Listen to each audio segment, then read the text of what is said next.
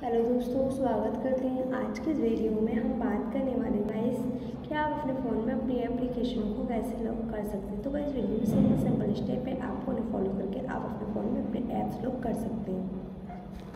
कोई वीडियो की जानकारी के लिए वीडियो लास्ट से ज़रूर देखना। आइए वीडियो शुरू करते तो वीडियो शुरू करने के लिए गाइस सबसे पहले हमें अपने फ़ोन में सेटिंग में जाना है। सेटिंग में जाने के बाद गाइस आपको इस तरीके का इंटरफेस देखने को मिल जाता है। तो यहाँ पर आपको ऑप्शन देखने को मिल जाता है। प्राइवेसी तो आप उस पर क्लिक कर देना।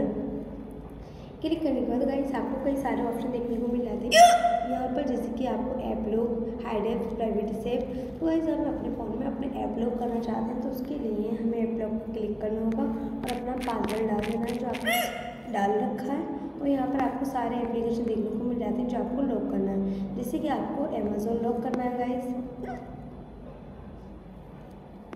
और नीचे फेसबुक करना है तो आप इस पर क्लिक कर देंगे गूगल करना है। तो गाइस इस तरीके से आप इन ऑप्शनों को ऑन कर देंगे। तो गाइस इस तरीके से आप अपने फ़ोन में अपने ऐप लॉक कर सकते हैं। तो अगर वीडियो पसंद आई हो तो शेयर करें लाइक करें। चैनल पर नए हो तो चैनल को सब्सक्राइब करें। मिलते हैं अगली नेक्स्ट वीडियो में। तब तक के लिए bye bye and take care